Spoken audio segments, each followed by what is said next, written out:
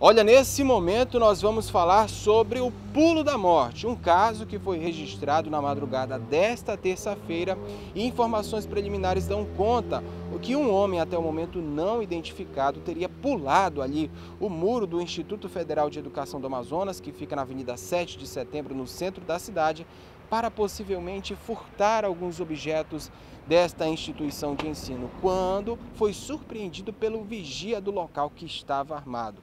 E aí meu amigo vigia não contou conversa e efetuou ao menos dois disparos que acertaram essa vítima. O serviço de atendimento móvel de urgência, o SAMU, chegou a ser acionado, mas esse suspeito acabou morrendo ainda no local. O corpo dele, nesse momento, encontra-se aqui na sede do Instituto Médico Legal, na zona norte da cidade, aguardando a chegada dos familiares. Esse caso foi registrado no primeiro Distrito Integrado de Polícia.